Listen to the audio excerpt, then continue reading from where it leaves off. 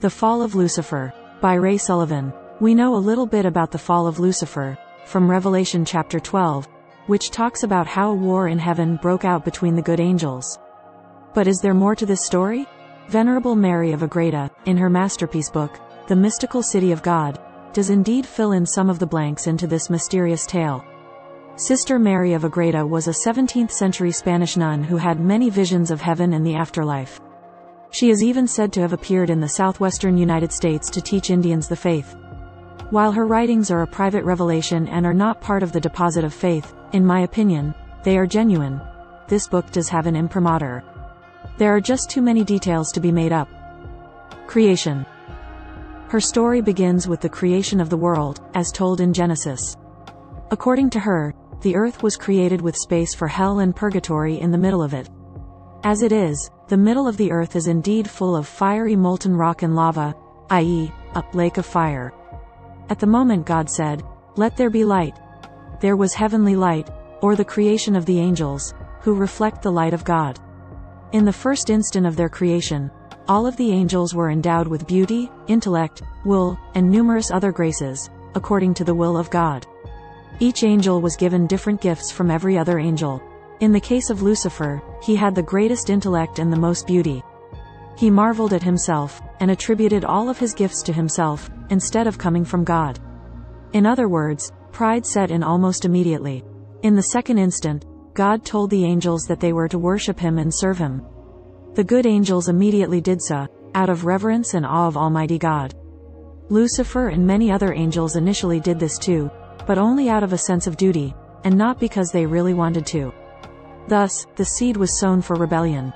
Lucifer's rebellion. God then told the angels that he was going to create a lower form of life, humans, and that the angels were to assist man in all of his endeavors.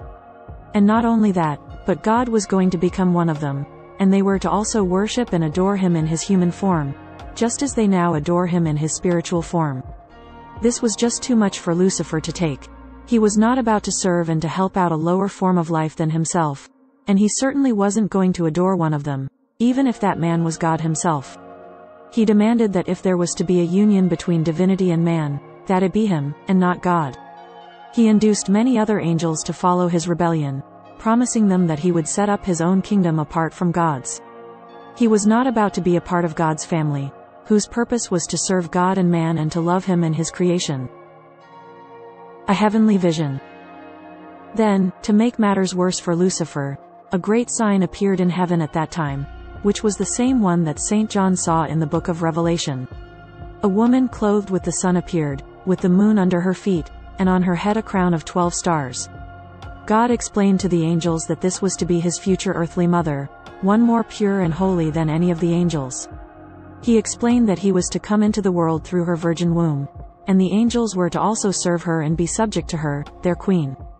At this point, Lucifer spouted blasphemy after blasphemy at the Lord, pledging to destroy the human race, and persecuting this woman, and destroying her position in heaven. This aroused the anger of God, who then told Lucifer that this woman would crush his head, and through her, he would be vanquished. God knew that Lucifer's great pride would be more wounded by being overcome by a lowly female human, than by him, Almighty God. He said that any man or woman on earth who spiritually assumed, to the best of their ability, the nature of the incarnate Word and this woman would take the seats of Lucifer and his followers in heaven. God allowed all of the angels to see the many graces he had bestowed upon this woman, and how he would work through her to do so many wonderful things.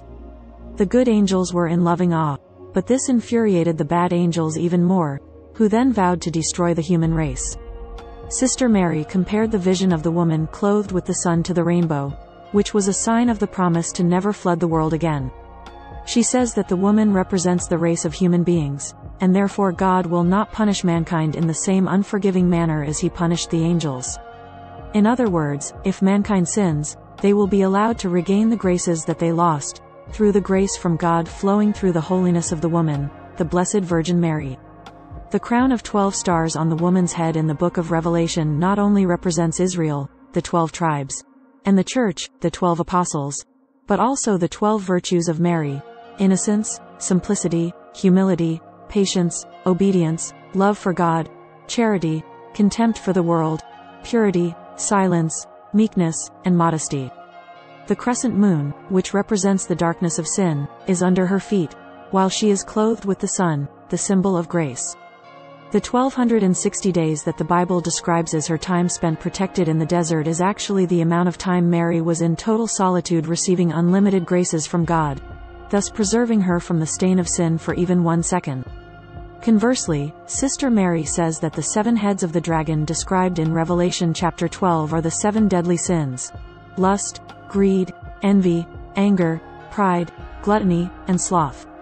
The ten horns of the dragon represent the triumphs of the iniquity and malice of the dragon, and the vain and arrogant glorification and exaltation which he attributed to himself in the execution of his wickedness. The tail of the dragon represents the false promises and phony friendship of Lucifer to the apostate angels, and which swept them out of heaven into the middle of the earth, aka hell. She then explains that the pain of the woman, travailing in birth, was not birth pangs, but rather, Mary crying aloud for what was going to happen to her son, namely, the crucifixion. Since Mary was born without sin, she was free from the curse of Eve, i.e., birth pangs. Other theologians suggest that these birth pangs also represent Mary's pain in interceding for us, the rest of her children, who prefer sin over Jesus much of the time. The word travail doesn't always mean birth pangs, and is used in other places in the Bible as a euphemism for the world awaiting the acceptance of Jesus Christ. Romans chapter 8 verse 22. We know that the whole creation has been groaning in travail together until now. 23 And not only the creation, but we ourselves, who have the first fruits of the Spirit, groan inwardly as we wait for adoption as sons, the redemption of our bodies. War in Heaven. The war described in Revelation chapter 12 then commenced, with Michael and the good angels defeating Lucifer and the bad angels. According to Sister Mary, the following conversation took place between Lucifer and Michael.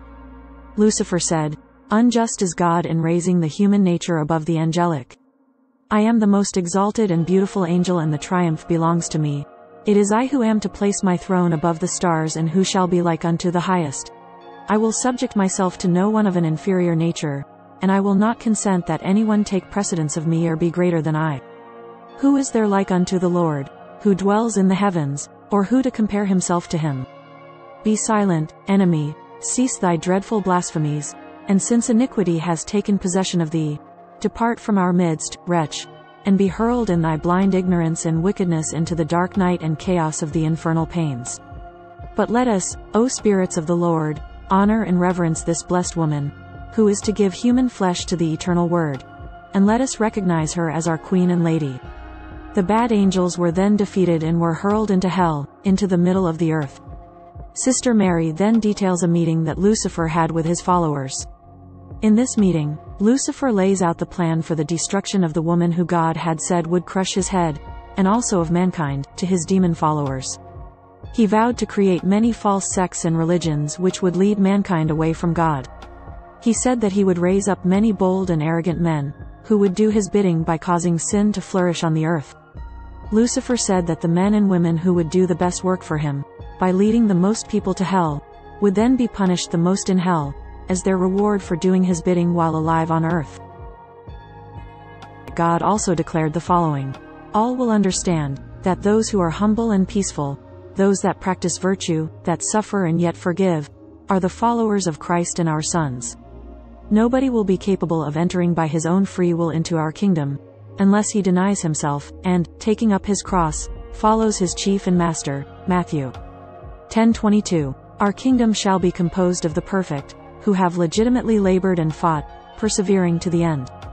These will take part in the reign of our Christ, now begun and determined upon. For the accuser of his brethren has been cast down. The triumph of Christ is secured. To him belong exaltations and glory, since he is to wash and purify men with his blood. Therefore only he shall be worthy to open the book of the law of grace. Reverend 5 to 9.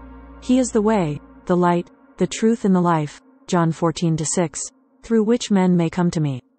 He alone shall open the gates of heaven, he shall be the mediator, I Tim.